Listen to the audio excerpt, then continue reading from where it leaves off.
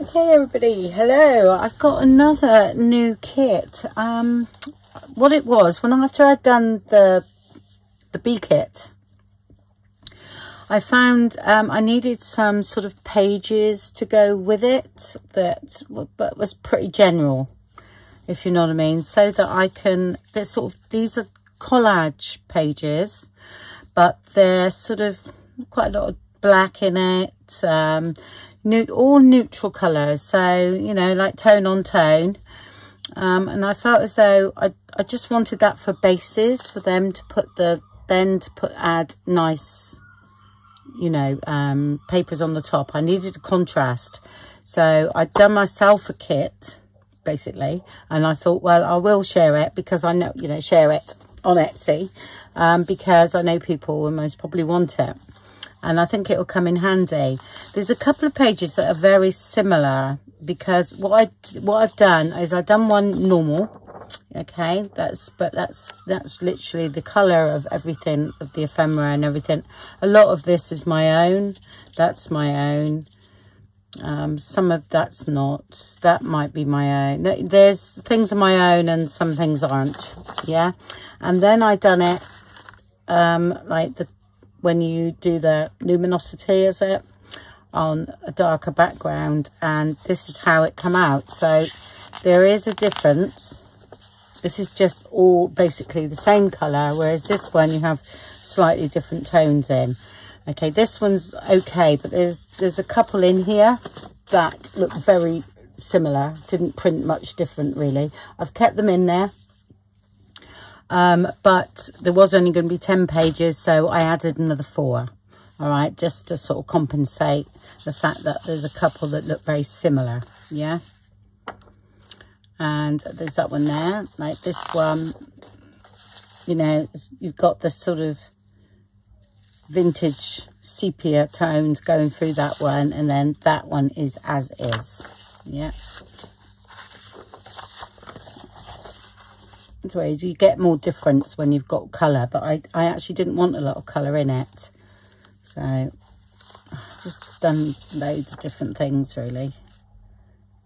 And I just thought you know what? You could make some really nice tags out of this. Oh, all sorts. And that's the sepia one. Okay.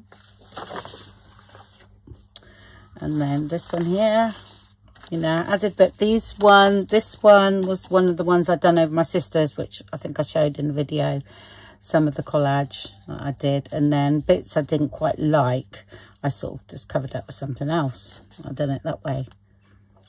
But a lot of this is all my own stuff so.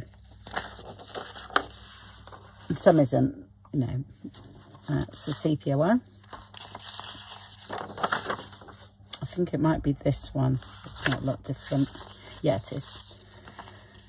And that was there. That's as is. And then that's the sepia tone. You know, it's just slightly warmer, but I thought it was quite samey, so that's why I added some more pages. There's that one. That's another one of my collage ones in the background there. And then that's the sepia tone. And then you've got this one here. and then you've got the sepia tone. I think there's only one actually, so there we go. Yeah, and I'm to make some tags out of that, some journaling cards and all that. And I think any of this will still go with the bee kit. And I thought it would look nice with decoupage, uh, you know, for decoupage and things like that. So, you know, you can sort of find places and put decoupage on. I just, I think I just wanted something plain, you know, to go with the kit. So, oh, I've, I have started a tag. Um, I haven't finished it yet, but so I've used some of the bee elements, not from the new bee kit, because I've got loads of bits that I'd done previously. So some of this from my other kits.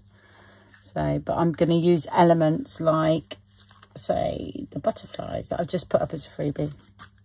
That's a bit too big, but you know, that can go on.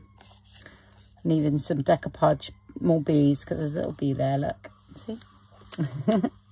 yeah, so I just wanted something plainer to go with, you know, like this, the papers. Yeah, Do you see, now you see how that's working in. Okay. So that's what, that's what my idea was behind that. And it's like, I've got, say that tag there. And you see, it's all going to work. But, um, just gives the eye rest, I think, from all the yellow and the green. okay, well, thank you very much for watching then, and I'll speak to you all later. Bye.